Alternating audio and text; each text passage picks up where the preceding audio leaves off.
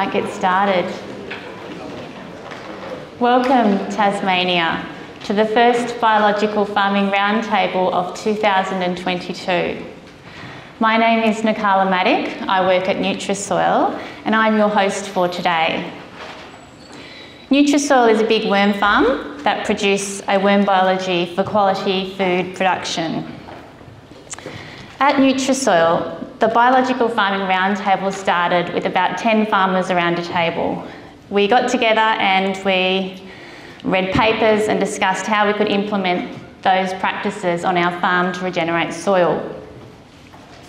Now, here in Tasmania, we have 100 people. We're very, very grateful that you're all here. Our purpose at Nutrisoil is to empower farmers to grow life enriching food. It is undeniable that how we grow food is deeply connected to human health, soil, and environmental health. To help achieve our purpose, we invest our hearts in educating and raising awareness that working with natural systems is indeed working smarter, not harder. I welcome to the stage uh, to present the brilliant world of biology microbiologist Walter Jehne.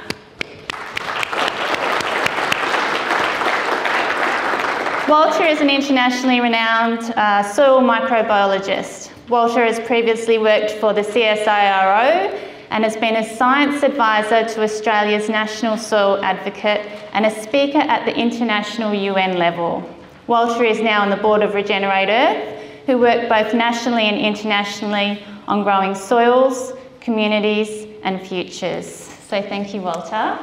Thank you very much, Nikala. Can people hear me, or I should put this on because they may want to record that as well? There we are. I'll there we go. Uh,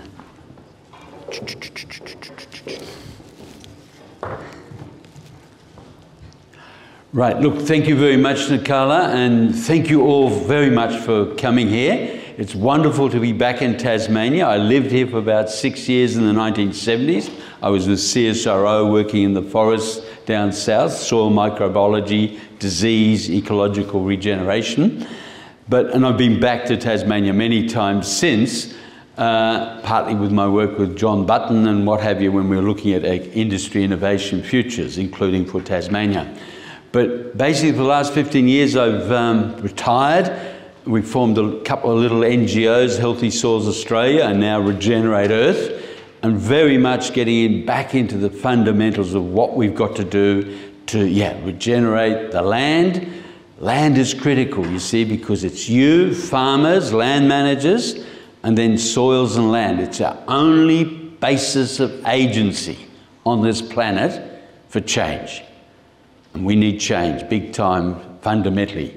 So the power of farmers, you know, the, the importance of farmers actually saying, look, you are the stewards, the custodians of land management, and it's that land management of this planet that's going to govern its hydrology, its climate, its biodiversity, its resilience, and in those biosystem functions, our, our economic stability, our social stability, and as Nikala mentioned, the whole preventative health of humanity. So really, farmers, land management, soil management is really the guts the foundational guts of what we're about, but also it's 10 billion people by 2050 that will be dependent on that fundamentally. And so you farmers matter, and so thank you very much for coming. Uh, obviously, I don't know everything, all the details about what's, you know, what you're doing here in Tasmania, but basically from a fundamental point, let's have the discussion. Let's ask all the questions. So right from front, what we want this is an interactive forum. You are identifying, hey, okay, what about this problem or what about that direction? And let's then brainstorm and discuss where the thing is going, what we know, what we don't know, what we need to know, what we may need to experiment with. But let's actually sort of then look at that higher level to say, okay, how do we make land management, land regeneration, farming both viable to you economically, commercially, but also the foundations for a regenerated, healthy planet. And it's pretty critical because for 50 years, and I, I mean, I've been in this game for 50 years, or more than 50 years. See, I was involved with this Stockholm Earth Summit in 1972, 50 years ago. And we raised all these issues of, yeah, land, limits to growth, resources, cycles, you know, how do we build circular economies? And for 50 years, we've been just spinning our wheels, not in a circular economy, just wasting energy. And we're now at a crunch point because this decade, you know, these up to 2030, unless we build those foundations for the future through resilient biosystems, things are going to get very serious. And we already know all about those, don't we? I mean, we're seeing climate change. But it's not the CO2, you know, people don't die until it's 10,000 parts per million CO2. But it's the climate change, the dangerous hydrological extremes that are intensifying, accelerating now. And of course, they're impacting, as we're seeing this week, storms, floods, cyclones, aridification, droughts, wildfires. You see, and it's these dangerous hydrological extremes that are now impacting farming and really critically making farming less and less reliable. So it's not even the amount of rain, but the unreliability. You know, like basically we're working with farmers in Western Australia, eight inches of rainfall, very, very poor soils, but because they had reliability, they could say, yeah, we'd get a crop four years out of five. But as the whole hydrology and seasonality changes, we're now, or the conventional farmers are basically down now two years out of five. Two years out of five is like Russian roulette with four chambers loaded. Because if you've got a mortgage, you're getting income two years out of five, but you're paying interest on your mortgage five out of five, you're dead. Okay? And so this is, in a sense, how these climate extremes are impacting. Not the CO2, but actually through hydrology extremes and then the vulnerability of our biosystems, our farming systems to those extremes. And so the message and response, really critical, we have to rebuild buffering. Okay, how do we rebuild resilience in our farming system to buffer these extremes? You know, how do we make that buffer able to tolerate whether we're getting 70 drops or 130 drops, that every one of those raindrops that we get is in the soil, stored in our in-soil reservoirs, available in our soils for sustaining longevity of green growth. Okay, so yes, we're going to be in these extremes, but have we got the buffering, the resilience? And see, they're the sort of new paradigms of, you know, agricultural futures, the paradigms of have we got actually a capacity to keep on going. There'll be 10 billion people on this planet by 2050. 7 billion will be in concentration camps, we call them cities. But basically, they will be totally, and it's a mean word, but they'll be totally dependent and extremely vulnerable because they will need water and food and shelter and habitat and other services every day. And so that is agriculture, right? And so 10 billion people, 7 billion in cities, vulnerable. There are seven missed meals, seven missed meals between social stability and chaos. Obviously, you know, if you haven't got, you know, missed seven meals, you're going to start getting hungry, you're going to start sort of hustling. And of course, then social instability.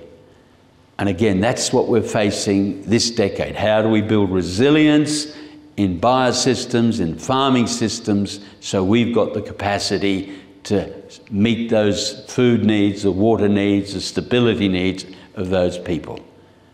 It's interesting that US Defense Department's very, very heavy people, senior people have got in touch with us and say, wait, we're interested in your stuff. I said, well, why are you interested in our stuff? Hey, it's all about stability because they know no amount of hardware, no amount of hardware can maintain social stability if there's seven days with missed meals. So food, water, biosystems, farming is the guts of a stable future. Now, the only other thing is that you guys got to be paid a fair quid for that, right? Or dollar these days. But the point is, you've got to be rewarded and you've got to be viable locally as businesses to make that happen. At the moment, you're getting six cents in the dollar or less, growing commodities and getting just basically screwed by a $10 trillion a year global industrial food system. Now, fair enough, we, they're still there, we need them, but hey, you need more than six cents in the dollar. Okay, so how do we get your value capture from that farming, from that resilience that you're getting paid a fair price because you farmers are the people that are actually providing the foundation for the future. So how do you get a fair price? You know, how do you go from six back up to the 30, 40 cents in the dollar for what you're producing? Gets worse than that. Nikala's already mentioned it. You see, we've got a $10 trillion a year industrial food system, but we also globally run a $20, 30 trillion dollars a year industrial disease industry because we now basically got these self-induced diet-related diseases exploding exponentially in populations all over the planet. You know, your cancers, your diabetes, etc., etc., etc. All related to what we put into our faces. The food we eat, or the, it's not food, the lack of nutritional integrity in what we eat. And if we can't sustain that, this stuff is, you know, the diseases are growing exponentially six, 6%. We've had COVID, we'll have more of these pandemic crises. So we again have to build resilience, preventative health. The only way you provide, the only way you uh, establish preventative health at a population level is through quality food, the nutritional integrity of your food. We're all animals, we have a biochemistry, that biochemistry needs some 50 essential nutrients in the right forms, concentration, balances, okay? And we need to get that through our food. And the question is, is our food at the moment giving us that? Or has it just been adulterated, marketed, so we get basically, you know, like uh, labels, brands, colours, packaging, more nutrient in the packaging often than the food. Okay, but it's getting back to nutritional integrity in locally grown, naturally grown food. Basically, that's fundamental to that preventative health. That's, prevent, uh, that's fundamental to sort of avoiding that 20, 30 trillion dollar disease industry that we're now locking ourselves into. So you guys, again, farmers, critically for the future. You're not recognised for it. Nobody talks to you about that but basically you are it. And so if we're going to have a future beyond 2030 globally, how do we actually take farming, land regeneration, and lift it back up there? It's pretty fundamental, actually. Sorry, it's pretty fundamental, actually, because um, you see, when we started, or when we started, 10,000 years ago in the start of the Holocene, after the last ice age, we had basically a planet that we evolved on 14 billion hectares of vegetated land, 8 billion hectares of forest, 6 billion hectares of grassland, savanna grasslands, herbivores, etc. Okay, and basically over the last 8,000 years, we've taken that 14 billion hectares of land, and let's go there, 14 billion, and that was 8 forest, 6 grass. And of course, what we've done is we've basically said, look, hey, here's some forest, we can clear, burn some forest. And we've taken out minus 6.3 billion hectares of forest. So we had 1.7 billion hectares left, but some of it is regenerated as we've abandoned land, and because we've got another 1.6 billion hectares of regen. And so at the moment we've got 3.5 roughly of forest on the planet. Okay, so this is in a sense the scale of the challenge we've got. In 8,000 years we've logged, burnt, basically degraded. We've used all that land actually to grow agricultural crops, obviously, you know, a lot of that's then cropping land. And we brought it back and we've got 3.5 billion hectares residual here. Here we are, 2022. This is United Nations Environment Programme figures, and yeah, totally no, no arguments about them.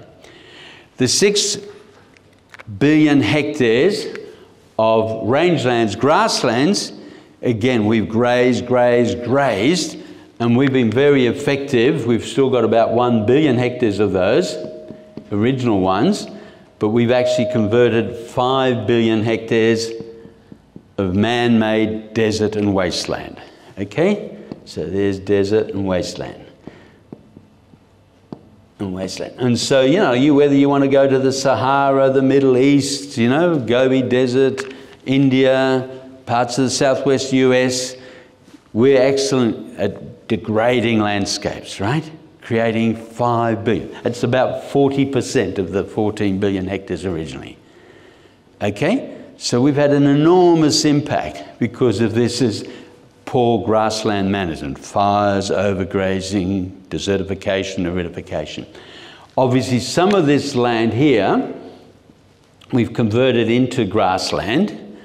We've got about 1.5 billion hectares of actually cropland that we crop, and we're about 50% through that. You know, we've basically used up 50% in terms of soil productivity, soil carbon on that.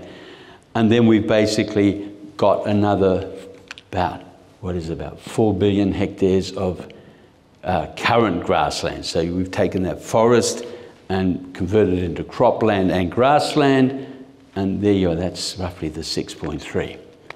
Well, not quite, because we've still got 1 billion left there. But what I'm getting at is we have had an enormous, profound effect on this planet. And people blame agriculture, and of course, agriculture has been part of this. But the message today is agriculture is also the solution. Because just as we degrade land, we can also regenerate land. And that's the positive message, right? We can actually understand what we've done, what we need to do, and how to go back. How do we actually regenerate this land? How do we rehydrate? Can we take one billion hectares of desert and wasteland and can we rehydrate, regreen, regenerate? Yes, we can. You know, can we reforest? Obviously, yes, we can. Tasmania, classic example. Can we actually rebuild the productivity, the health, the structure of these cropping soils? Yes, we can.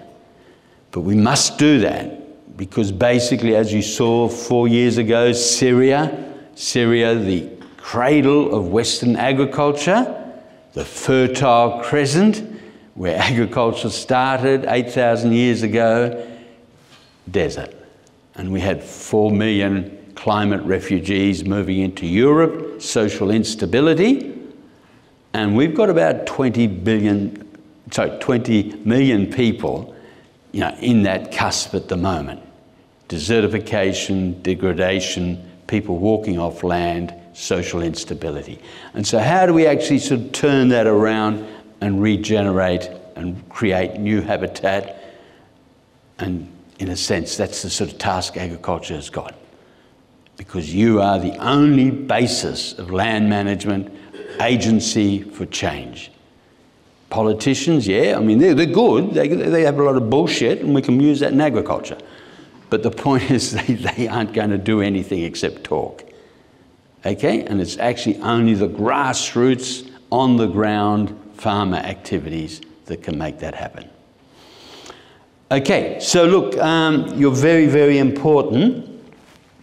And let's get to the important part of it. It's not the fact that there's been degradation, there has, but what is it that we can and must do to regenerate land, and in a sense, in that, to regenerate the viability of farming, critically important, you know, the fact that you, you're going to have to earn money on it and be viable, but more important, provide humanity and the earth with a future beyond 2030. I mean, things will still be there 2030, but it'll get harder and harder and harder unless, unless we do that.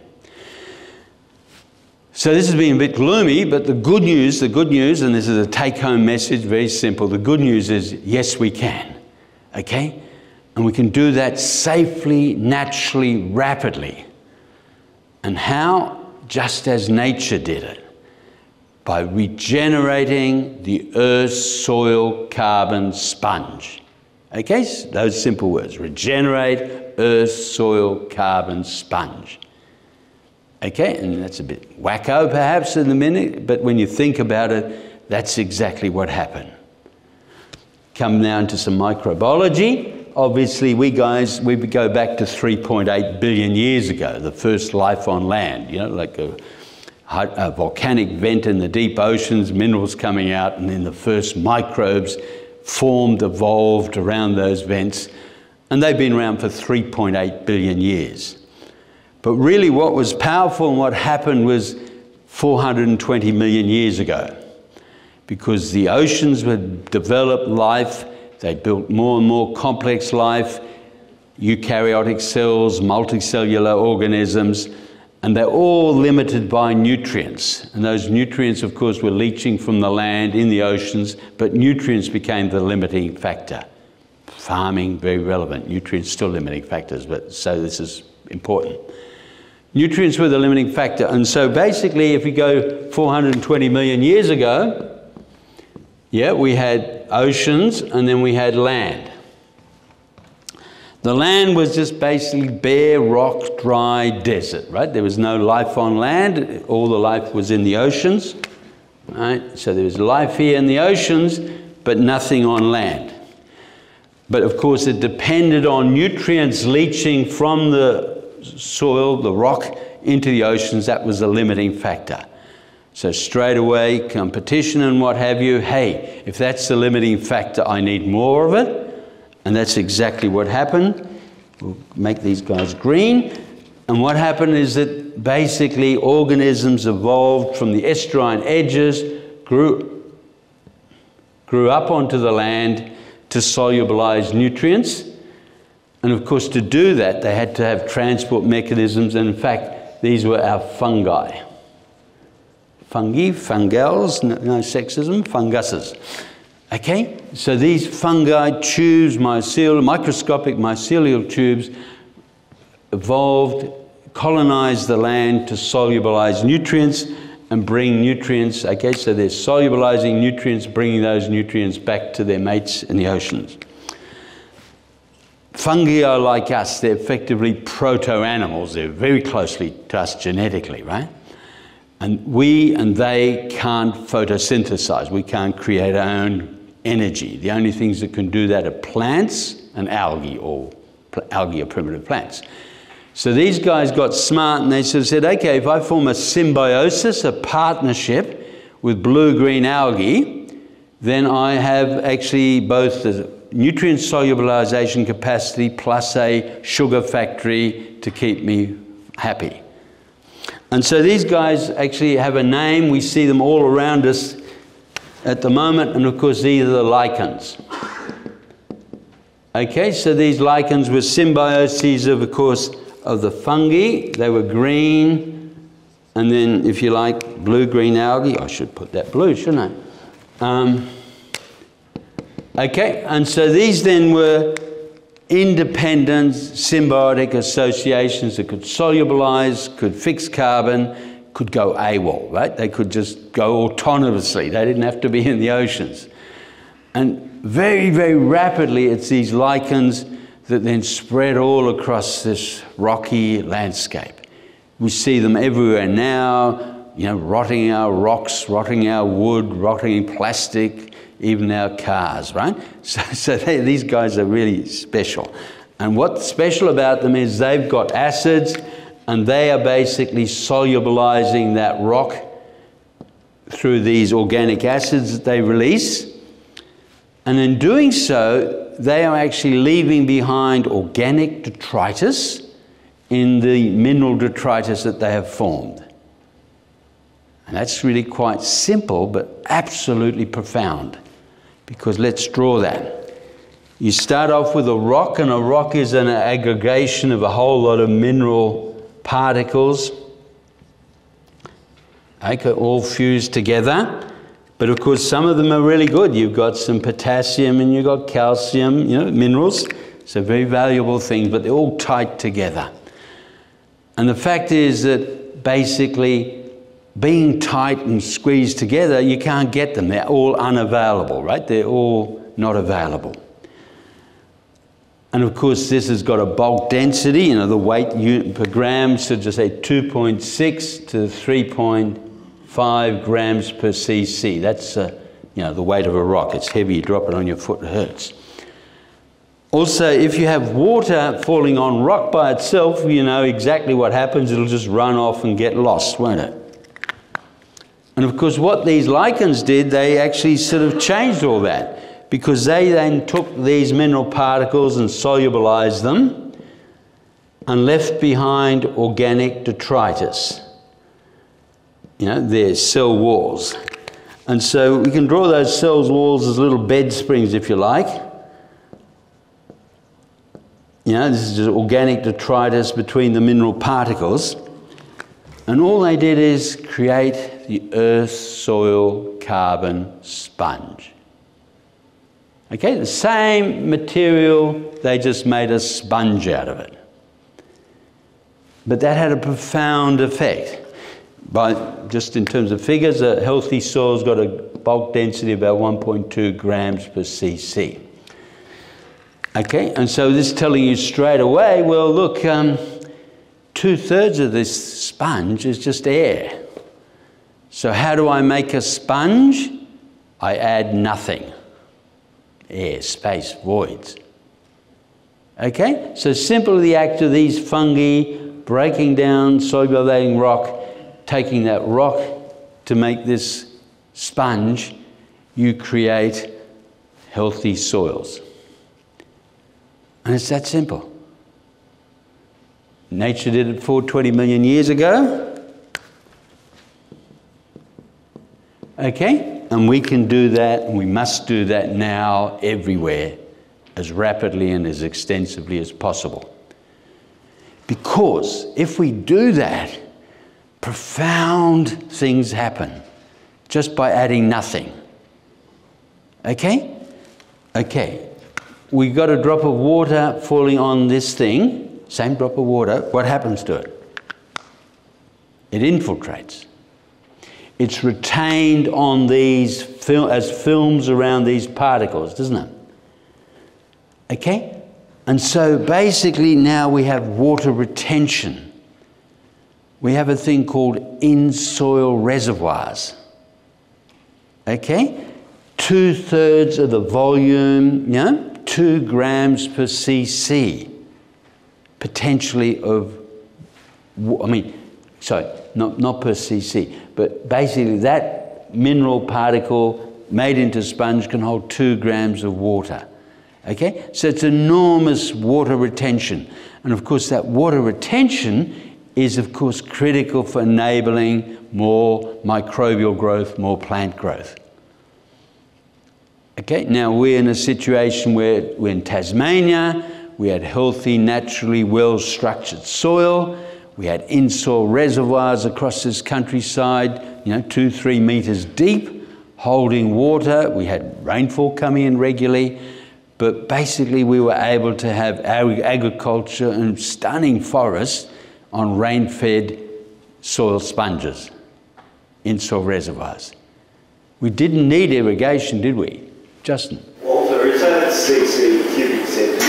Cubic centimetres, yeah, yeah. Okay, and so the point is that the whole hydration of those landscapes is made possible by the creation of this sponge, by adding nothing. I can't even sell you bottles of nothing. You know, I could, but you wouldn't want to pay, pay for it, would you? Nothing. Just letting the fungi, the microbial ecology create this structure for us. Gets much better than that. Here we've got our phosphorus, our calcium, you know, our different nutrients, unavailable, right? Very poor fertility. Now we've got that phosphorus, we've got that calcium available, and of course we've got microbial activity. and it's actually able to solubilize and get access to these nutrients. And all of a sudden, the biofertility of this soil can increase tenfold. Not because there's more nutrients there, no, the same nutrients, but they become available, they become accessible, they become able to be cycled in that soil. Okay, so nature can, by just simply adding nothing, enhance the biofertility of those soils through availability and cycling. Now we come back to our agriculture. We came to Tasmania, there were spongy soils, available nutrients naturally cycling, fungal processes solubilizing them, fungal processes cycling them, and we grew massive crops without fertilizers. And progressively, as we've degraded both the microbiology and the structure of our soil, because in a sense we've been going back to more compacted, degraded soils, what's happened? We've lost biofertility. Okay? Sure, we can buy fertilizer, but that's getting expensive. It's getting more and more expensive. And the issue is long term sustainability. How do we go into, yeah, the sponge? Take it further. Let's look at another colour, oh, blue. Let's look at the rootability of these soils, right? What happens if we try to get a root into that rock? No chance. It has to go to the side, can't grow, can it? Whereas here, basically you get a root, a seedling root coming down, it can proliferate massively throughout that soil volume. It can proliferate meters down. So the root soil interface to access water, to access nutrient, is enormously, many factor times improved. Okay? And so here's the productivity, because what's the basis of productivity? Yeah, that root soil interface, access to water, access to nutrients without irrigation, without fertilizer. That's how nature drives productivity. All because of adding nothing to the soil. Same thing goes now if we look at the whole microbial ecology of this soil, right? If we're saying, okay, well, look how much life is in this rock, well, bugger all. How much life is in that soil? There's more life, there's more living biomass in a gram of healthy soils than there is, in a sense, well, hang on, in a hectare of healthy soils than there is on the biomass living above the surface. You know, the weight of life in a healthy soil much higher below ground than above the ground. Fungal hyphae proliferating all the, through these soils, massive thing. I've, I've sat down, I mean, when I was CSIRO, I sat down and measured these things. 25,000 kilometers, kilometers of fungal hyphae in a cubic meter of healthy soil.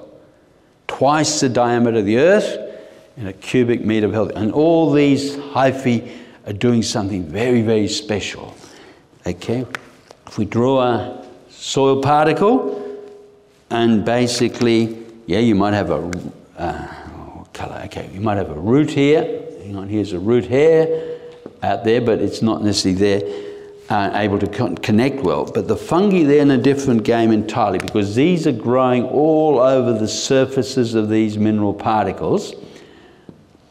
And these fungal hyphae are taking up nutrients directly, actively from these mineral surfaces across into their membranes. Okay, so they are actually sourcing out, hunting, and solubilizing and taking up nutrients from these surfaces. So there's your P and your cadmium and your magnesium. I mean, not one mineral particle, but basically, you know, they're taking them up directly and of course bringing them up into their hyphae and then exchanging them with the, the root, because this is the symbiotic root plant, the mycorrhizal plant, and they're interchanging these nutrients for sugars from that plant.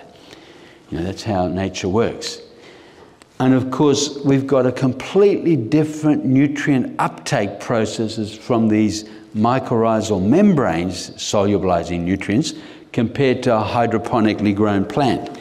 Because if we have a plant here hydroponically grown by itself, the only nutrients it can get is from, uh, are from the soil solution, right? So here's the soil solution, and that has sol- dissolved nutrients in it. It's got its sodium, it's potassium, it's nitrate, but also toxins often, you know, cadmium, aluminium is very acid. And it's absorbing these nutrients effectively from the liquid soil solution. But all the essential cations that our plants need, and we need for our preventative health, you know, the, the 50 odd essential trace elements and you know, cations, they're sorbed onto these soil surfaces. They're not in the soil solution. So the nutritional integrity of this plant is less than 30% of a healthy natural mycorrhizal plant growing through the use of these membrane uptake processes. And this is a profound difference because this governs the nutritional integrity of our food. Okay?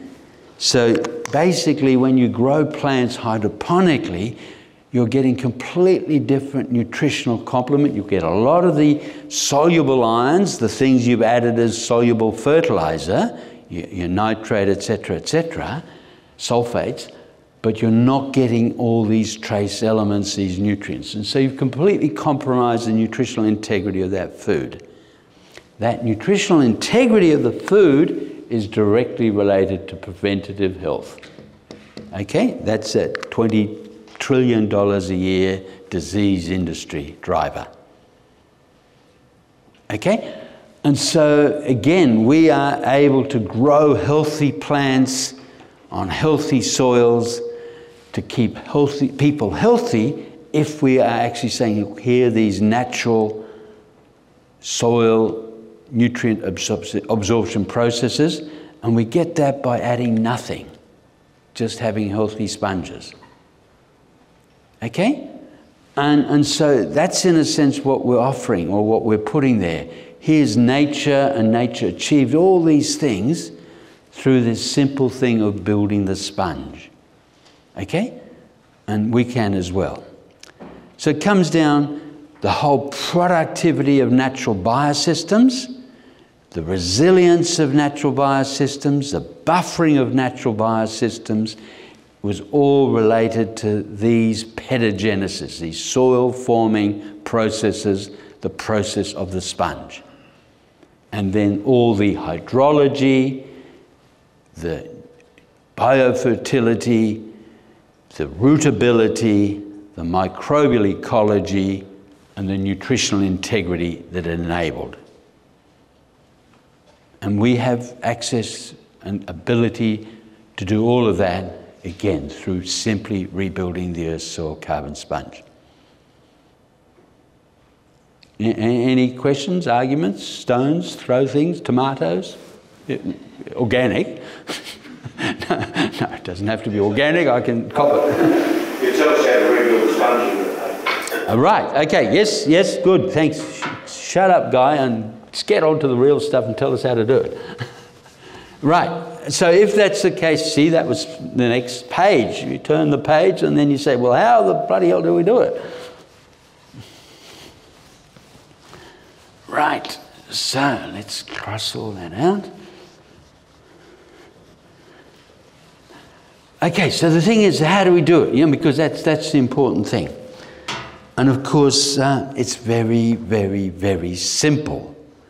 Obviously, nature doesn't bugger around, make it complex, because if we can make it simple, why don't we? And it's as simple as A, B, and C. Okay? And it goes like this A, B, C.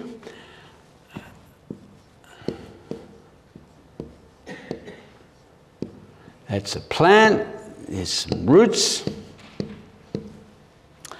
Okay, it's all about A, B, and C. And it starts, of course, with A, which is, of course, you guys, agriculture.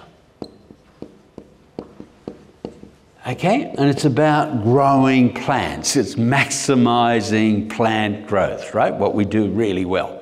Maximizing the very beautiful thing you take CO2 with some water, and you put some sunlight there, and you end up with carbohydrates, C6H12O6, plus this waste stuff we call oxygen. Okay? Photosynthesis. So you start We'll get over here again.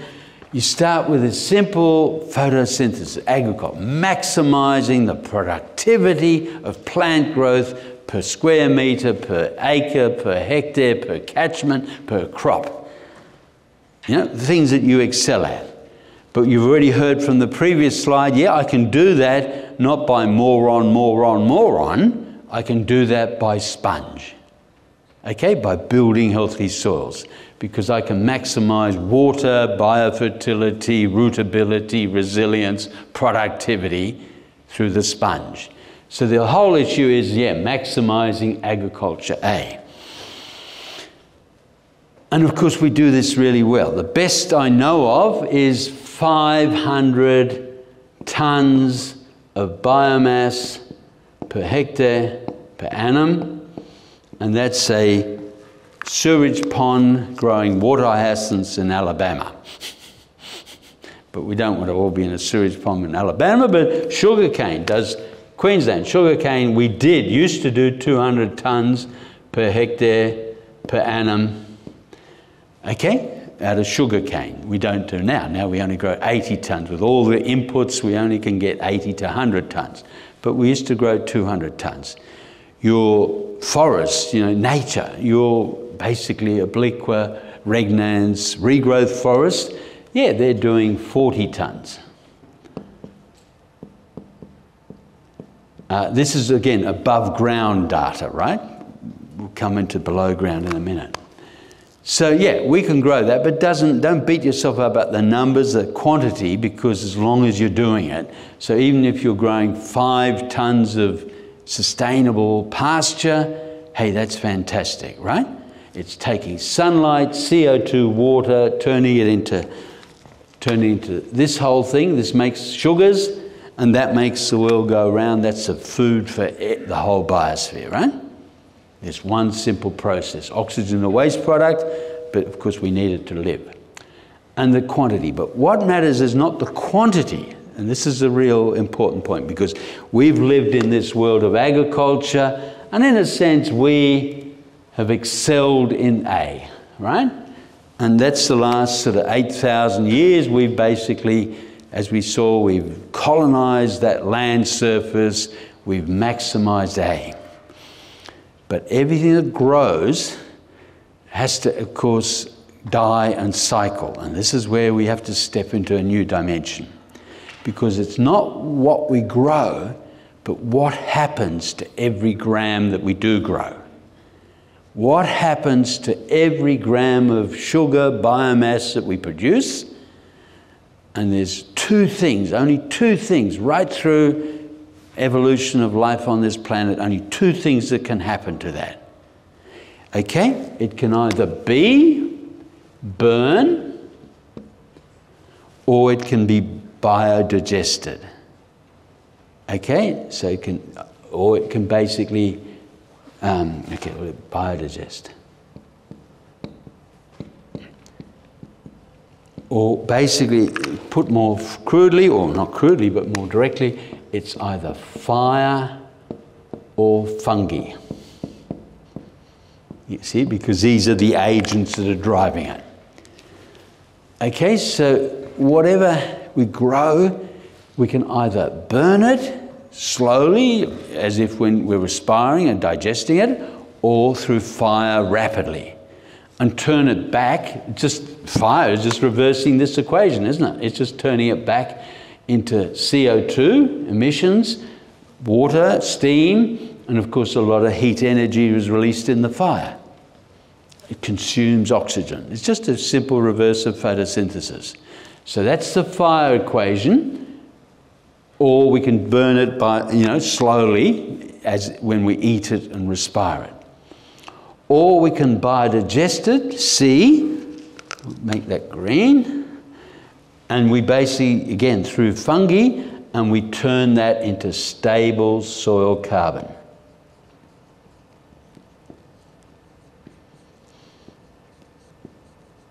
Okay, and these are the humates, and then the glomalin. And these are really just uh, nothing special biochemically, they're just basically long chains of carbon molecules that get bigger and bigger, polymerize bigger and bigger, and they become very stable and very hard to break down. And so they sit and reside in that soil 100 to 1,000 years. You know, so all the coal, all the, you know, humates, the peats, they're just basically biomass that's been turned by fungi into stable soil carbon, humates, glomalin, etc., and they're sitting there. So these, these are really, well, so let's get simple. These are really the bed springs we talked about, right? So really, it's a matter of do we burn? Yeah, are we into the burning business or in the bed spring business? Fire versus fungi, bio, bio, I mean, yeah, burning or biodegrade, bio, biodigestion, right? And so what our objective is, is to maximize this, right? I clearly want to maximize A, but then what we want to make sure is that, I mean, we can have burning. I mean, we must have burning because that's what we live of, but that we don't burn all of it. You know, that we basically put a fair share back into the soil capital to rebuild the Earth's soil carbon sponge. You know, so if we can put 70% of it down here, down under, and 30% there, then we're forever building more and more spongy, productive, resilient biosystems. Conversely, if we do 100% up here, just burn it all off, then we're basically not starving this thing down below and progressively degrading that biosystem. So we in farming, in our land management, are in charge of this ratio, the, the agency over this. How much is burnt, how much is actually put into soil capital. And the wise thing is to say, can we put half of it back down as rebuilding soil capital? we're already ahead of the game. Nature's helping us all the time because, sure, here's a plant above the ground, and that basically normally is about 40% of the biomass. But then nature mostly puts 30% of the biomass in its roots and another 30% of its biomass as root exudates, the sugars that it exudes from its roots to feed the soil microbial ecology, because hey, without that it can't function either. So, in a sense, 60% of the biomass is already down under. So we're way in front. You know, like all we have to do is say, hey, 60% is already down under. How do I make sure that that's actually fixed and stable and turned into stable soil carbon to give us, you know, this down there? At the moment, our agriculture, because we're adding all these oxidative inputs and oxidative practices, actually it's really serious because at the moment we're burning 120% of A is going up as CO2. Okay, and I'll show you how, what happens. You if we cultivate, if we over fertilize, if we have biocides, obviously fire up here as well, and if we have fallows, fallows, if, bare fallows, see all of those sort of practices are basically taking carbon from our soils, from our landscape, putting them back up into the air. And so we end up with, we end up with 120% of A going up because we're not just taking 100% of A, we're taking 20% of the heritage, legacy, original soil carbon that we inherited, right? We are mining those soils for the carbon. I said we've got 1.5 billion hectares of cropping soils on this planet. That's about it, not many more. And we're halfway through. And so you'll see the UN say, hey, we've got 60 crops left before we've buggered the soil completely, right? And that's true because we're halfway through that oxidation. This agriculture, these practices collectively, they're losing five to 10 tons of carbon per hectare per annum. Okay, so our conventional high input farming is losing that much. We're saying, look here, this is how much A was producing, and we're just losing, losing, losing. And in that process, desertifying, compacting, degrading. But we don't need to do that because, as we said, the sweet spot, we only need 30% up here. If we have 70% down there, we're building soil capital, we're building bed spring, humates, glomalin, and progressively making that much, much more productive, healthy, structured, resilient, buffered soil. Okay, so it's a very simple thing A, B, C. We're in charge. Farmers in charge. Farmers in charge of A, they know world experts are doing this, but now the new paradigm, the new dimension is realizing it's what you do to every gram of carbon that sunlight produces for you. Are we allowing it to burn through our practices, or are we helping to put it into the soil? There's one actually very important thing is, yeah, how do we help this process along? And basically, how do we help the fungi along? And of course, this is where the biostimulants come in. Okay, and again, biostimulants are simple, natural products that actually stimulate the activity of fungi and microbes in the soil to do these soil carbon fixation processes. And my cup of tea is sitting on a drum of it. Okay? Because that's exactly what a worm juice does, right? Worm juices, etc. They're just nature's biostimulants. And we've got then innovative companies saying, yeah, hey, we can produce these worm juices in very, very, you know, very sort of concentrated but effective, effective forms. And that stimulates the actual soil microbial ecology in the soil that helps build the sponges and the bed springs and puts more of that carbon into this end but it does something actually more important. I'll put my cup back down again because I shouldn't be drinking while on stage, should I? Um, basically, it does something more because we've got a vacant space here, have we? And basically, in nature, you don't have vacant spaces, it's not kosher. And so we've got to have another thing called D. And we call these our dividends.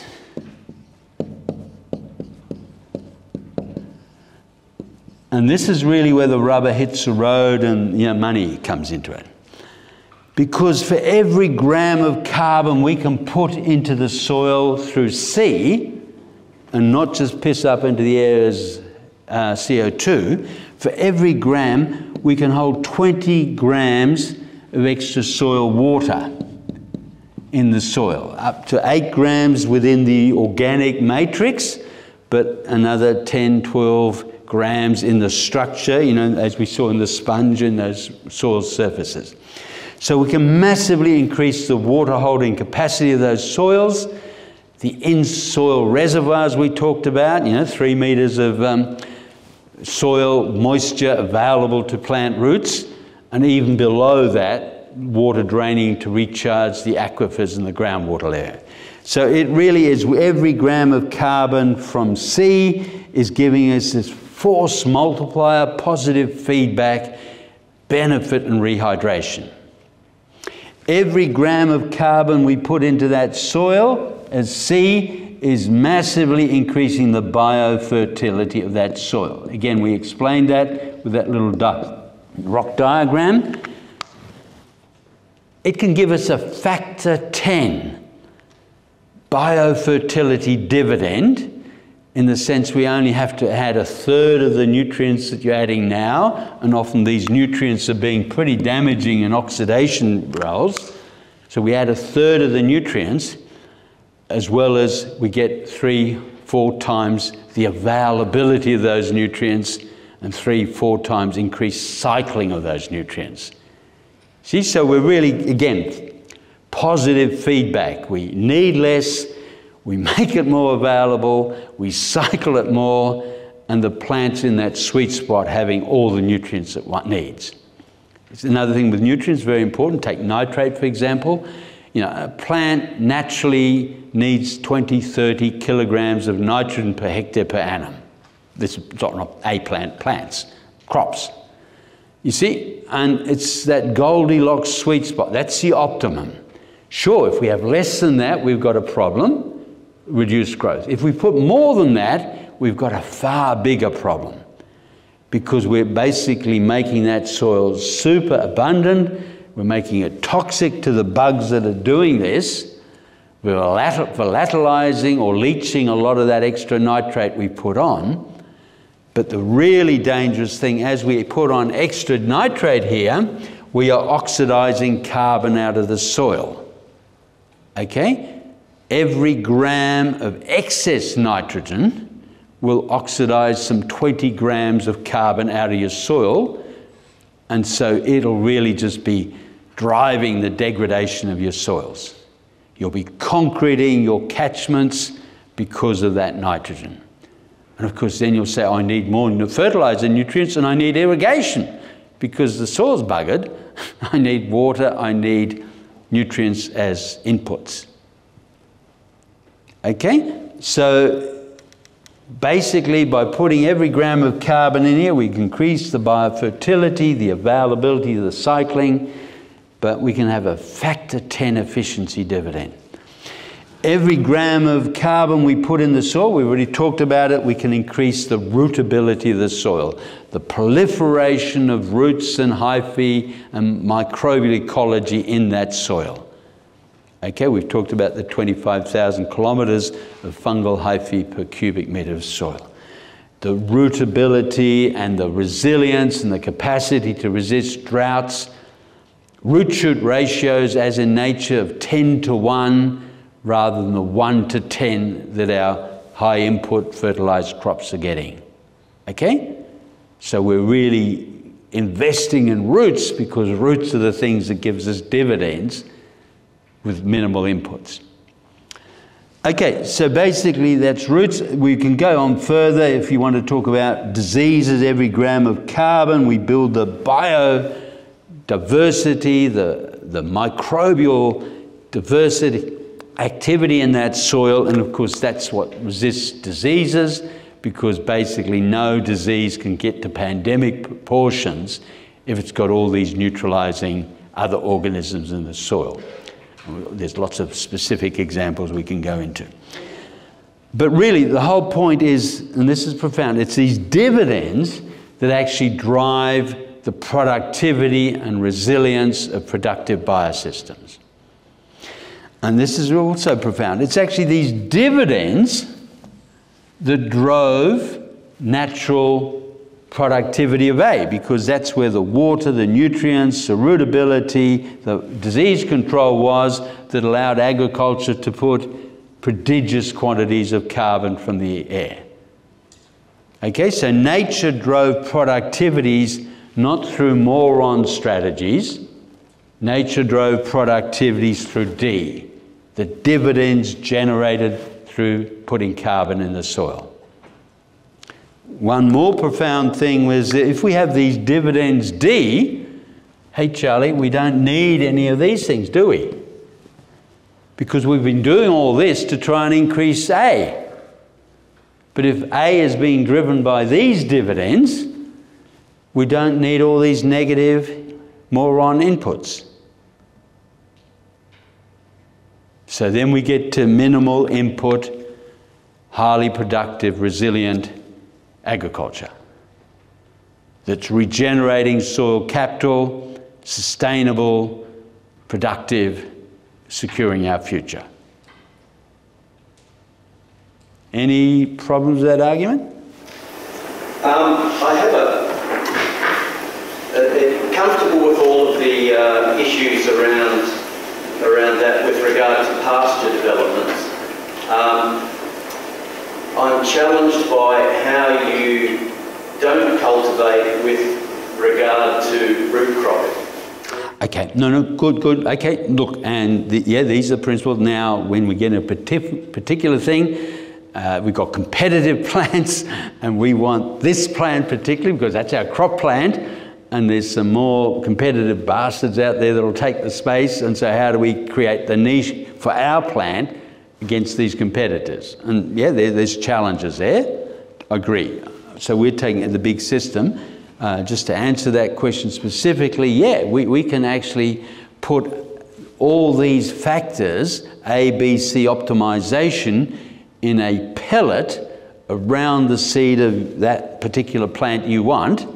So that plant, through that pellet, has a competitive advantage in that environment vis-a-vis the wild competitive plants, right? Or the wild, you know, the plants that would otherwise compete. So, how do we tip the balance? And we are putting inputs in a pellet, but how do we tip the ecological balance in favour of the plant we want through that microsite manipulation rather than having to nuke a whole landscape? Okay, and so, yeah, we can sit down and design that. Um, a good colleague, for example, Colin Seis, has pioneered pasture cropping where again he uses grazing ecologies to create a seed bed, opportunistically to put then cereal crops into a grassland. At the right season, under the right conditions, those grasslands will put a cereal crop up. You know, harvest a cereal crop, 80, 90% of normal yields, and then the competition is coming up underneath the cereal crop and of course, he'll just graze in the stubble and the competition to produce more protein and more biofertilizers in animals. So, so it's just us playing natural microbial ecologies, but yeah, tailor making those strategies for whatever your problem or the opportunity that you're trying to optimize. Okay? But yeah, very sophisticated. So we're not, we're not just saying, hey, dumb down, and there's, okay, and I should, I, I'm a bit harsh actually. I shouldn't say none of this. Of course we can use it, but we use it intelligently to optimize a system rather than we're relying on inputs which we know are just robbing the natural soil capital and the future of that landscape. Okay, and so it's tailor making those optimal strategies. And that's in a sense what the smart natural farmers, organic farmers have been doing. They've been perfecting these mechanisms. Yes, if I grow this earlier, then it's established before the competition starts, or I can mulch and smother the competition, or I can bring animals in to sort of take out the competition at the right time. You know, there's a whole lot of, yeah, sophisticated smarts but these are locally tailor-made.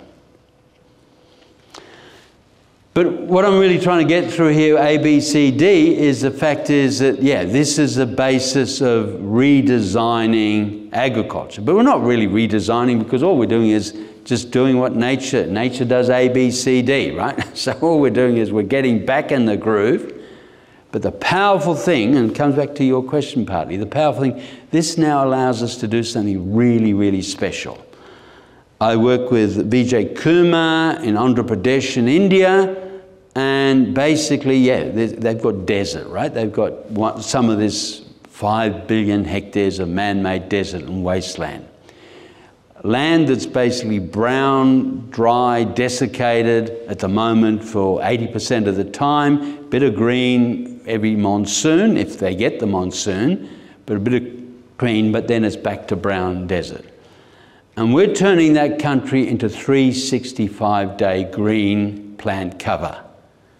Exactly through those sort of strategies. You know, like how do we get pre monsoon dry seeding into those things, get those plants established before the monsoon so they're optimally able to exploit the rain from the monsoon, grow rapidly, and create actually a protective um, cover, uh, plant cover, soil cover that lasts 365 days of the year. And it's working extremely well. And of course, it's exactly how nature colonizes deserts.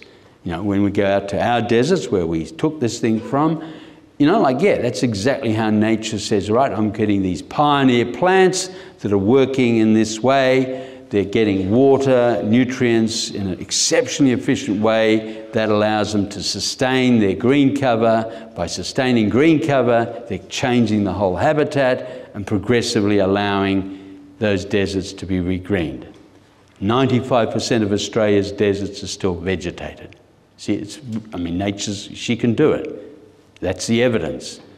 And now we can say, can we use that same process understanding to start regenerating? The target is 1 billion hectares of arid wasteland back into green rangeland and savanna. Okay, so that's in a sense the story about, okay, how do we do it? The person asked, yeah, let's get on to how we do it. And it's again profound because in this way, and again, we don't have to do that, we can just do 10, 20 tons of carbon per hectare per annum, we can actually totally change not just agriculture, resilience, food security, but of course we can actually draw down massive quantities of carbon. Okay? Basically, every year there's some 250, okay, we should draw this perhaps. There's some 250 billion tons of carbon. Does it, and we might be able to turn this over, eh? There's some 250 billion tons of carbon that are in flux on this planet, right?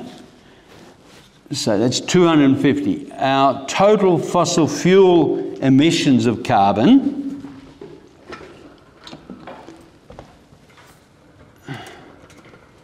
voila. Our total fossil fuel emissions of carbon, thank you so much, Natasha, uh, uh, Nicola. Okay, our total fuel, fossil fuel emissions of carbon about 8 billion tonnes. And this was, of course, our friend Charles Keeling back in 1960. And you remember the graph, don't you? There's CO2 going up.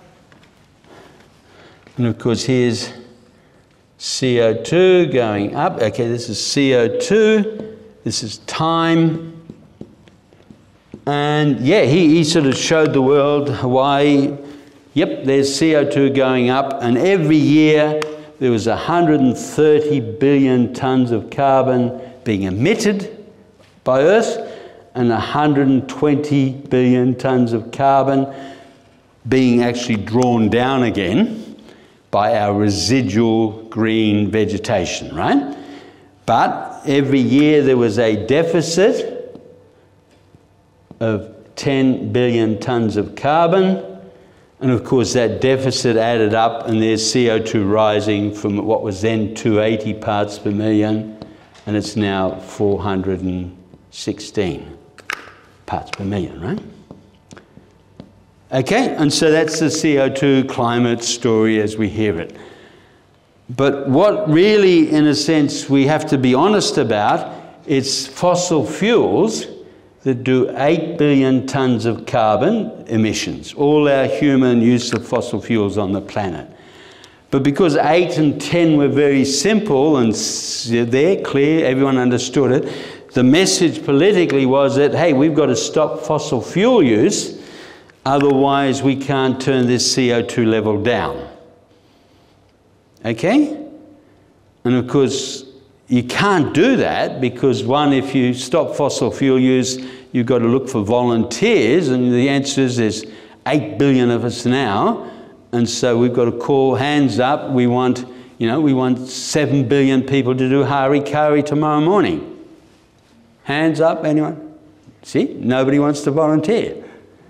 You see, because basically we crash economies, we crash societies. It's, it's yeah, we go. So it's a ridiculous proposition.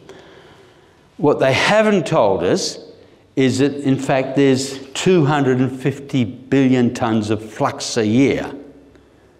Why they haven't told us that? They basically say, oh, look, that's nature's problem, or that's nature's carbon, right? We're not responsible. We're politicians. We're just responsible here. Well, it's all bullshit, of course, because they have, you know, um, landfills, they have cement, they have you know a whole lot of other emissions apart from fossil fuels. But basically, we're also generating. There's more fossil fuels. I mean, sorry, there's more carbon emissions generated from wildfires than there are from fossil fuels. But that was again nature's problem because we just kick, externalized the responsibility of that back to nature. Okay, well, here's the figures. There's 350 million hectares of forest that burn every year. Okay, and they emit from 20 to 200 tons of carbon per hectare while they're burning. Okay, so, so I mean, it's, you just do the sums. It's seven to way above fossil fuel emissions every year from wildfires. So the issue becomes hey, it's not shutting down economies and crashing societies, it's about can we reduce wildfires? And of course, yes, we can. How do you reduce wildfires? We had it on ABC fire versus fungi. If we can, okay, you're in Tassie, here's your forest. That forest is putting down litter at the rate of eight tonnes of eight tons of carbon per hectare per annum. You know, this is litter that's falling down, right?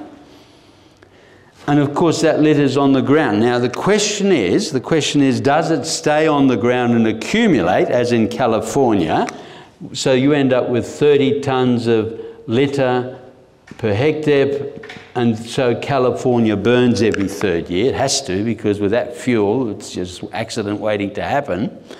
Or do you have fungi that can actually biodegrade that litter, okay, and turn it into stable soil carbon?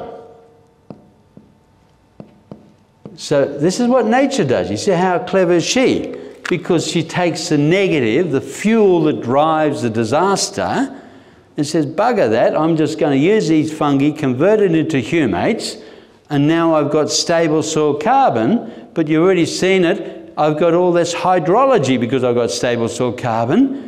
So I've removed the fuel, but I've also rehydrated that landscape so it can't burn, or doesn't burn, or is less likely to burn.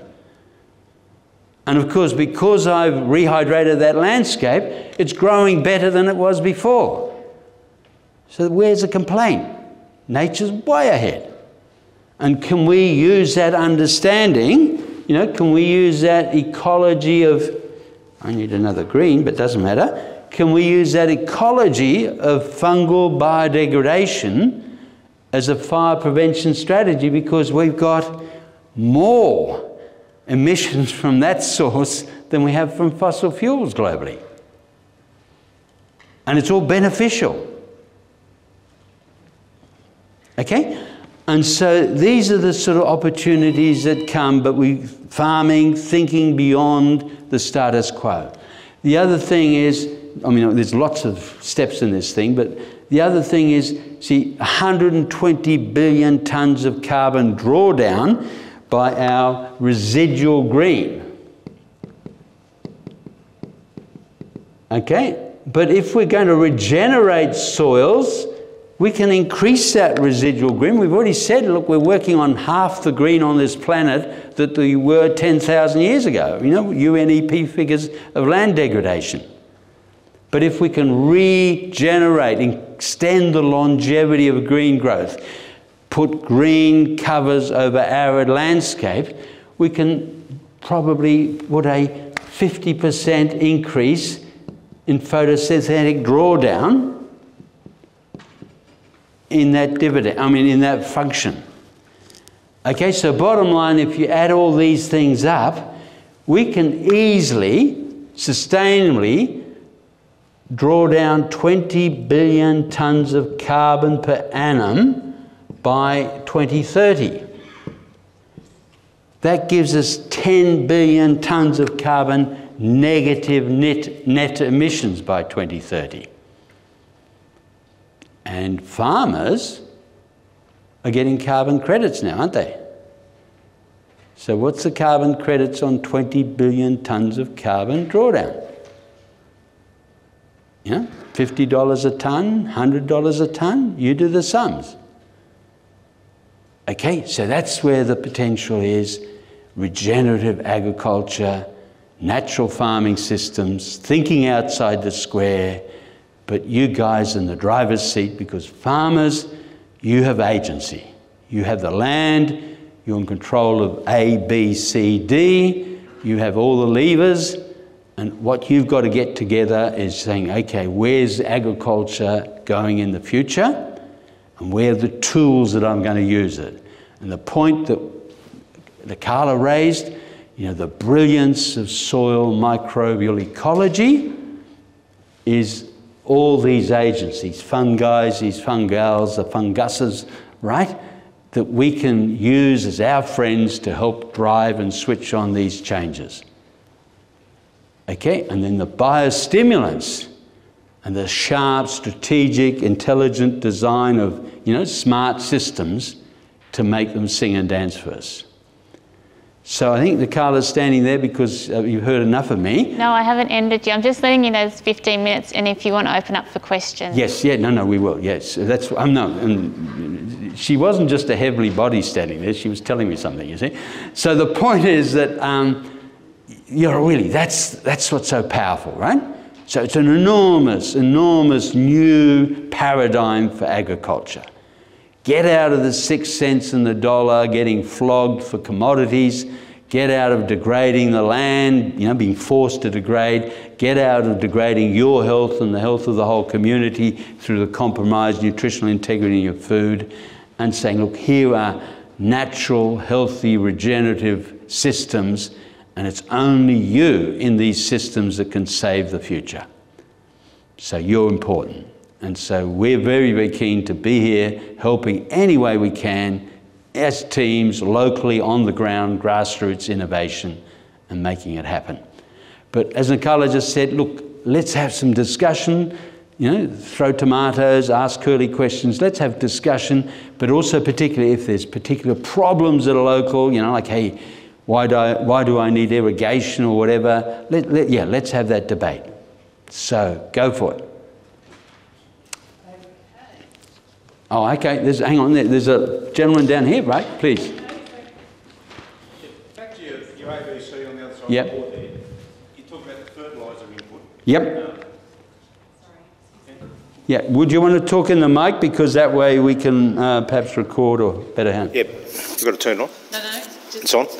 Okay, so back on the B side there. Um, fertiliser inputs, and you, and you said that we can overdose on nitrogen. E- Excess yes. Excess of nitrogen. So does that include our legumes like clovers and that? So we can have too much legume? Oh, okay, yeah, yeah. If you have a monoculture, okay, well, yes, you can. If you have a monoculture of too much clover and you're just clover, clover, and you're managing just clover, it can get, well, put it way, it can have too much, but nature doesn't allow that to happen because it'll just stagnate, right? Because there won't be any competitive advantage of putting more nitrogen in there, and therefore the clover loses its competitive edge, right? And you'll probably get some opportunistic, nitrogen loving weeds take over your clover, nettles or something, right? So, yeah, nature, look, nature always balances it. Uh, see, the other thing about ecology, very important lesson, farmers and leader, if you can't beat it, you eat it. Okay? If you can't beat it, you eat it. So everything is balanced, everything is cycled, and hey, if you get too cocky, we'll have you for lunch. Thank you. Uh, one at the back, yeah?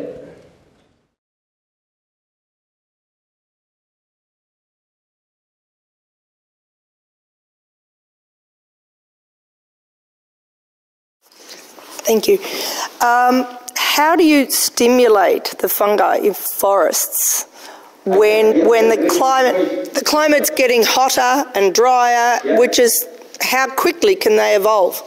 Right. No, no, look, and, and you should join the team because we need answers from you. That's the challenge. How do we stimulate the fungal activity in those forests? Definitely because it's getting drier, it's aridifying, it gets to a certain dryness, the fungi can't operate anymore, right? In, in situ, then you have to have special situations. Actually, is, thank you, good question. And the answer is look, anything, every organism needs three things. It needs genetics, you know, what's my genetic capability? What's my tucker, my substrate? Have I got enough of that? And have I got a conducive environment that lets me, you know, operate? And so we try to understand and then say, yeah, can I create that right environment? But in terms of substrate, yeah, obviously it's using the litter in terms of conducive conditions, can I add some biostimulant to actually help those fungi? Often it's parts per billion of trace minerals or cofactors, you know, etc., etc. But nature provides them in, you know, worm juices and those sorts of things. Um, big challenge though, yeah, how do I optimize the fungi? A lot of the time it's a case of, yeah, I need those understory plants, in there as well. I don't want a monoculture because the understory plants create that mesic ground cover, moisture retention, which allows the fungi to work. But actually, it's a good, good question because it takes us to another world of grazing ecology. See, grasses are quite a unique, um, grasses are quite a unique, wonderful thing. They evolved very, very relatively recently but they enable plants to colonize seasonally dry and seasonally cold habitats, right? And with before that, these habitats would have all been desertified deserts, and so grasses have extended plant life. And because they're seasonally dry and seasonally um, uh, cold, grasses, of course, they've got this wonderful capacity where you, you shoot up, you grow like buggery in the uh, good season, right? And yes, you then set seed or you put the nutrients back into your rhizome roots, and then you can go moribund, you can stagnate in the bad season, right? And the trouble is, though, if you leave that grass up there like that dry in the bad season, you're just inviting our mate fire to take over, aren't you? So you're just inviting, come on, clap. You're inviting fire to burn it and basically take this whole thing back to desert, which isn't what you want or what nature wanted, right? And so, what really has happened, nature says, look, I need to biodegrade this stubble in these very harsh conditions but they're too dry for the fungi in situ on the ground. So nature actually evolved this really clever thing, and it's called a biodigester. It's a mobile biodigester. And basically, it can take in this stuff and it creates then the optimum conducive habitat for biodigesting this stuff. But then it had to work out well, look, okay, I've got this, but how does it harvest the stuff? So you've got this biodigester and so then I had to move it around. Now, she didn't use wheels, she used legs. Okay? And basically, for the harvesting thing, she had this thing called a mouth with ears and eyes to know what they're doing. And so she said, Here, look, here's a rumen, which is our mobile biodigester. Just takes in cardboard's garbage, basically, but it's full of microbes that are actually excellent at breaking down straw and cardboard. And we've got this uh, harvesting, you know, head that can collect. And then we've got the business end, of course, and the business end is giving us biofertilizer. Okay?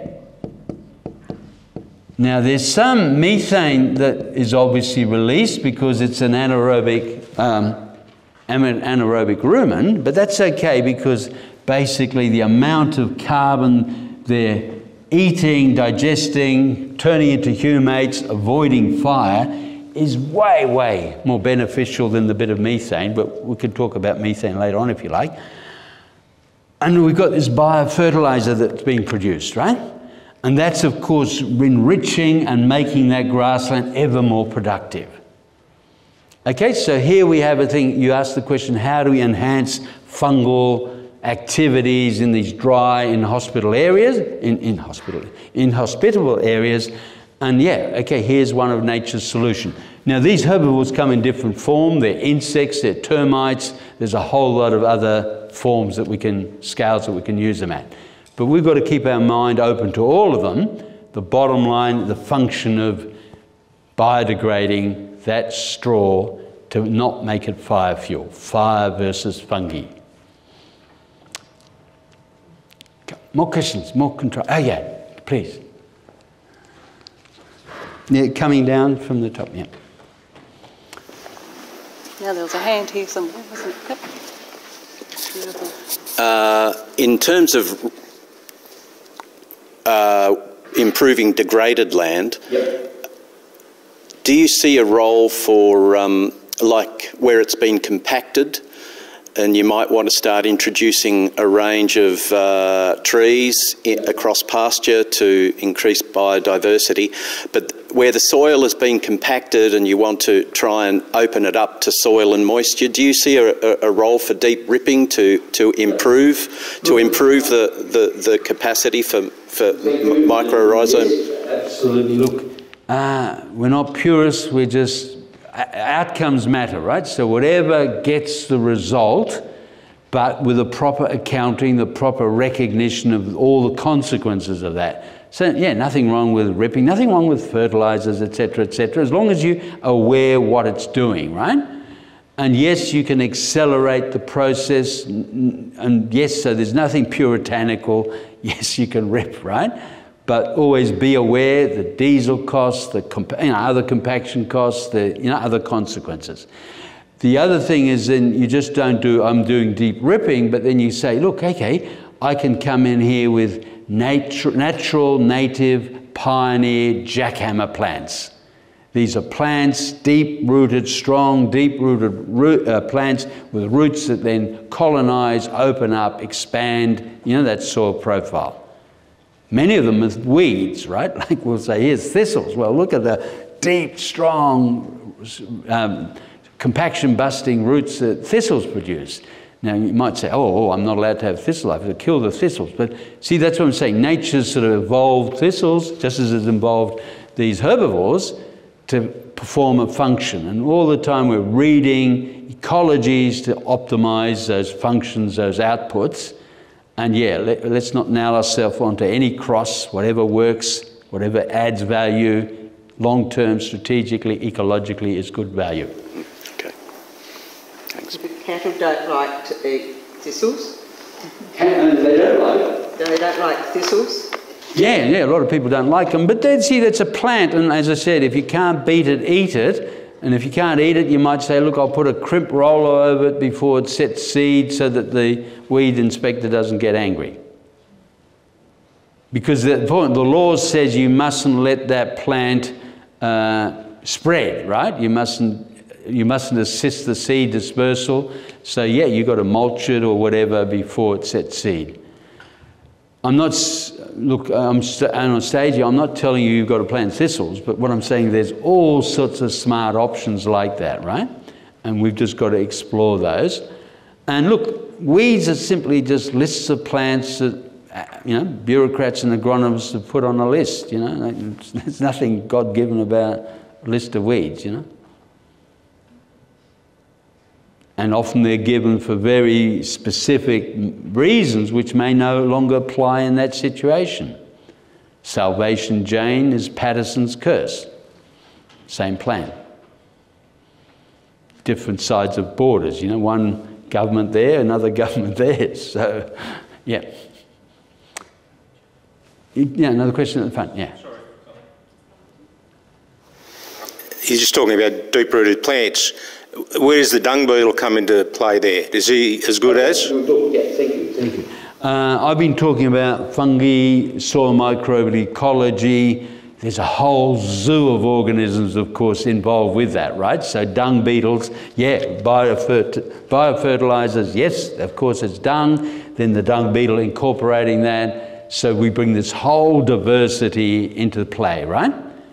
Uh, fungi are particularly important though because fungi, as we said, lichens, they're the primary source of fixation. They're extremely high value protein. So a lot of the other animals in the soil and as we said, there's you know, more biomass in the soil than above ground, are living off those high quality proteins that the fungi are producing. So earthworms, etc., making this good stuff, are actually eating a lot of fungi, and they're secondary, you know, sort of basic colonizers.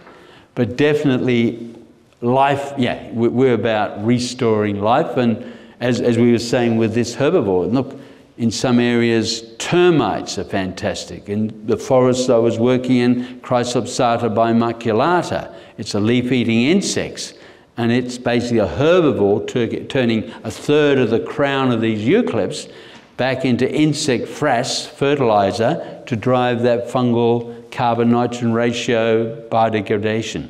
So, you know, people say, oh, we've got insect defoliation, it's a pest, let's spray them. No way. The plant can put up plenty of leaf. It's farming the insects in its crown to feed nitrogen onto the litter to make that nutrient cycle better for its increased productivity.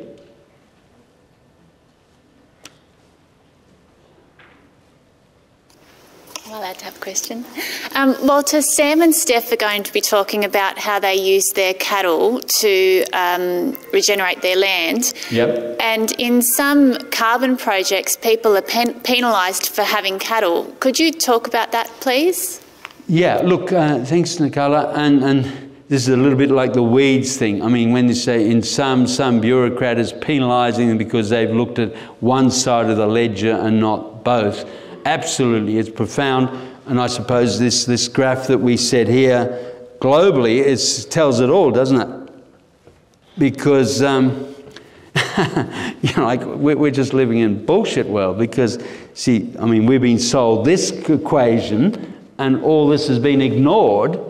And, and so uh, the counting is completely, you know, like it's just all fraud, right? Because we're not looking at the total system. There's 250 billion tons a year, pit, sand pit we can play in, nature plays in. We're being victimized at this level, and yet we're losing all the opportunities. And so if people say, yeah, cattle are, you know, like a negative in this carbon thing, well, show me the evidence. Actually, it's a very important point, methane. You see, I mean, I was in New Zealand working with those, and that went all the way up to Jacinda, the Prime Minister, and she changed the policy because of it. See, methane, oh, methane's bad, it's a greenhouse gas. Of course, it's a greenhouse gas. And of course, all animals with anaerobic fermentation, including all of us, produce some of it, right? And of course, the cattle get the really the guts. Well, every year there's about 630 million metric tons of methane produced. Cattle collectively produce about 10% of that. So you know, 90% of it is wetlands and rice paddies and fugitive emissions from gas fields and everything. So cattle are 10%. But cattle on grasslands produce 1% of that because 90% of the cattle now in these concentration camp CAFOs, right? And so then the grass fed cattle in New Zealand and sheep in New Zealand being kicked in the guts, they're producing 1% but oh, methane is bad, methane is bad, we've got to penalise. Well, the truth about methane is actually really, really profound because, again, it comes down to grassland ecology. So you've got a green grassland. What keeps a grassland green and healthy and transpiring? We just said previously herbivores, right? Without herbivore, it burns and goes back to desert. These grasslands are transpiring, of course, water, okay? Yeah, 30,000 litres per hectare per day. These are, I mean, healthy green transpiring grass. When that water vapour or that water goes into the atmosphere, you've got this guy up, oh, I think it's a girl, uh, this, this sun out here, you see, and then you've got solar radiation coming in. And you've got solar oxidization of water transpired water vapor molecules into hydroxyl ions, OH minus, plus hydrogen, which then forms bicarbonate ions and a whole lot of other uh, atmospheric chemical complexes. But the bottom line, it produces hydroxyl ions, okay? And hydroxyl ions are free radicals that are extremely efficient at oxidizing and cleaning up any carbon in the air not just methane, carbon particulates, pollution, polyaromatic hydrocarbons. These are the laundries of the sky, you know, keeping our air safe and clean. Now, a cow grazing a pasture,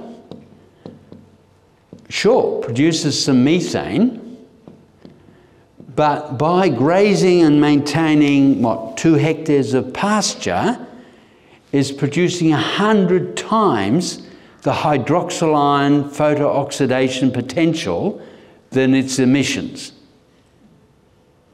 Okay? So we want to penalise that cow for this, but we don't want to credit the cow for 100 times its ecological service function. That's a one, not a four.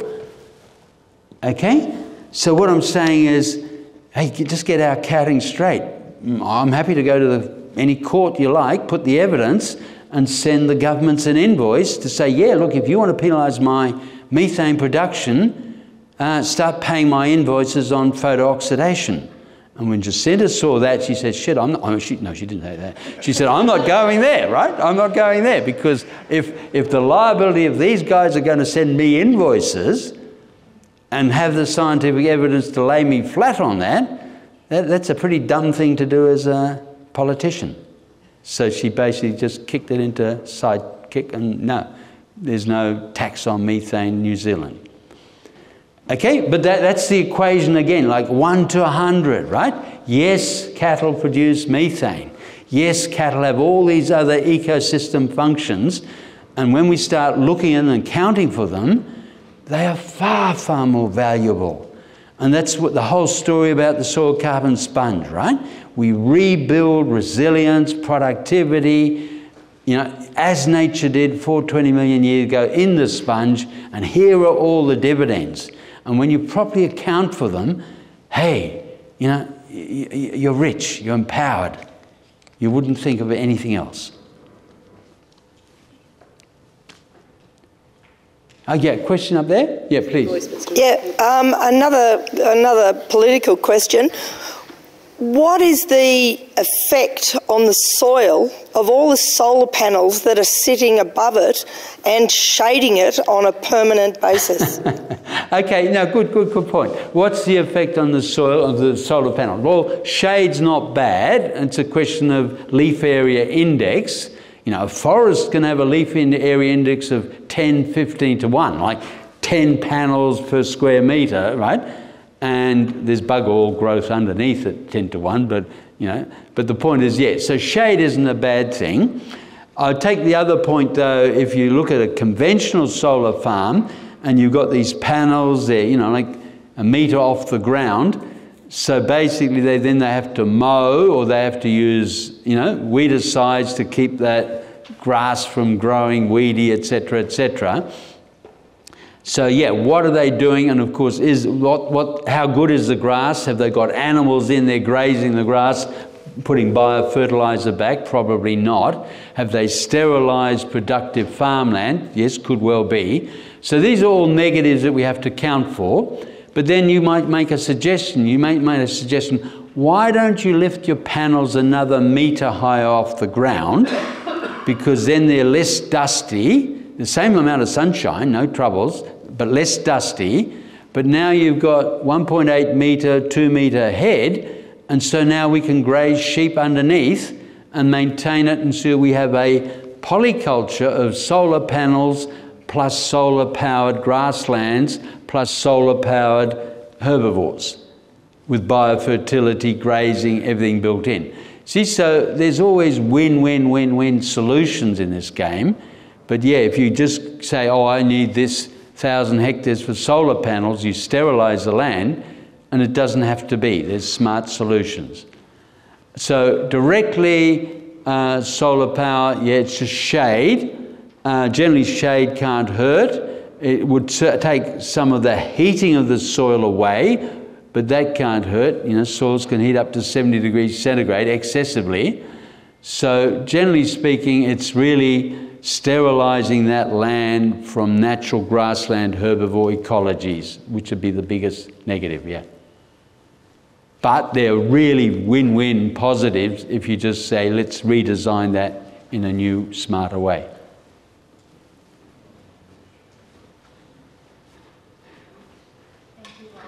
You, no more questions?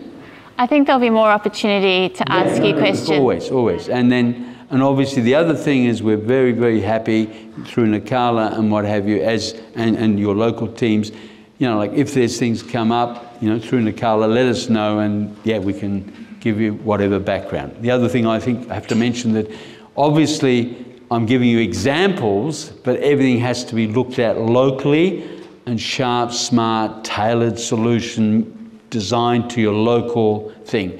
It's very dangerous to say, oh, somebody did this in Zimbabwe, I'm going to do this here, because there may be 5% of the variables are slightly different. But the principles and the imperative is absolute and that applies everywhere. So thank you very much, and I hope that, um, yeah, we can keep this debate going, and yeah, go Deloraine, go Tasmania. Thank you very much.